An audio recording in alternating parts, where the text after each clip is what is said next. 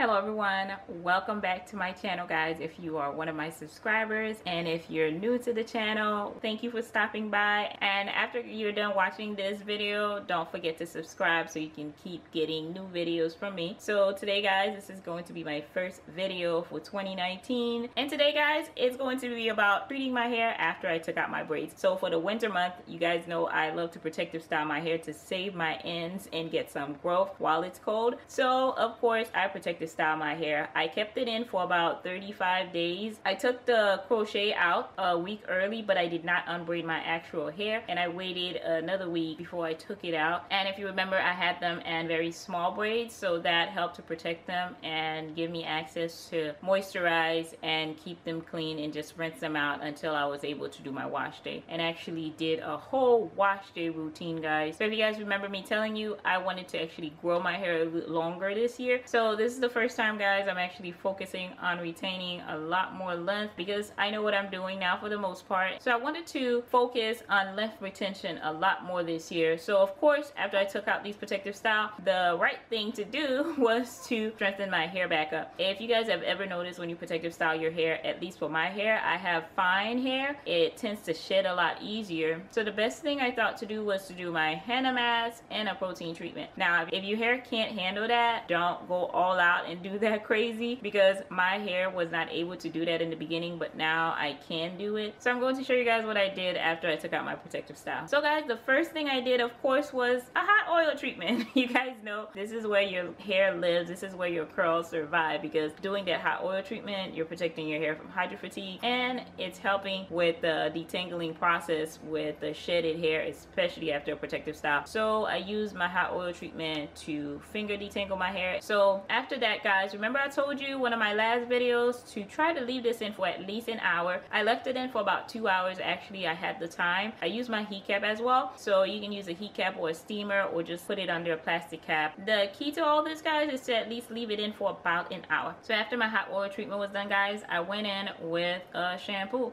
And I use a natural shampoo. You can use any shampoo that you like. I like after I take out my protective style to use a natural shampoo to make sure my hair is completely cleansed because after my protective styles now I shampoo my hair twice. So I'm going to shampoo my hair a little bit more than usual. So with that, I will go in and put the shampoo on the roots because you don't really need to put the shampoo on the ends because that shampoo is gonna glide down and you don't need to shampoo your ends as much as your roots. So I will go in, I will put that shampoo on the roots and massage it in there. And also guys, I will use my scalp invigorator. I love that thing because you get a good deep clean with it. It helps to lift up so much dirt and debris on your scalp that after a 5-10 minutes use of it on your hair. You feel that your scalp is a lot cleaner when you rinse it out.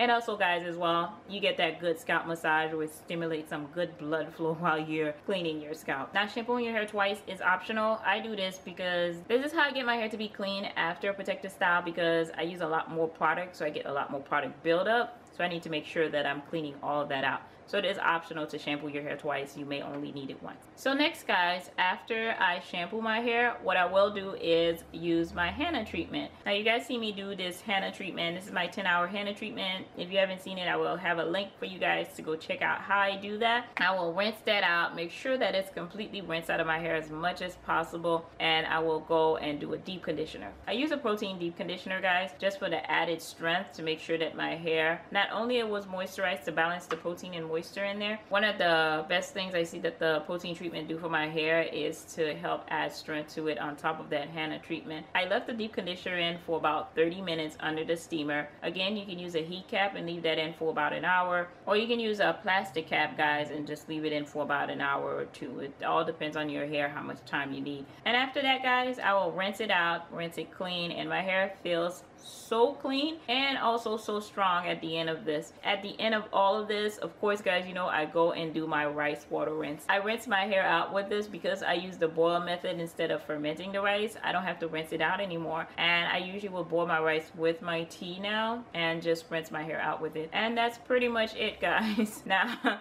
I know this was quite a lot to do to your hair. Um, you may not need all this, but I realize this is how my hair survived after a long protective style. So this is what I do to clean it, to give it strength, and to protect those ends. And if you guys notice, my hair looks great, guys guys it looks so hydrating and also it has quite a bounce to it which I love because I want to make sure that my hair is bouncing back it doesn't have too much moisture where it's stretching and breaking or too much protein where it just snaps off. Now if you don't do a rice water rinse, it's a good idea to do a cold rinse after you're done with your wash day routine because it helps to close down your follicles and it helps to give you that shiny, healthy looking head of hair. So guys, that's it. My hair is clean, it's out, it's done, and I'm excited to keep taking care of it and working on retaining a lot more length. And I thought it was a great idea to start out with this whole big treatment. Now it gives me a couple of weeks to just take care of my hair while it's strong so it can survive and keep those ends. So thank you guys so much for watching. If you're not already, please subscribe to my channel so you can keep up with my latest videos. And if you haven't already, click that little notification button so you guys will know when I have new videos up. And guys, go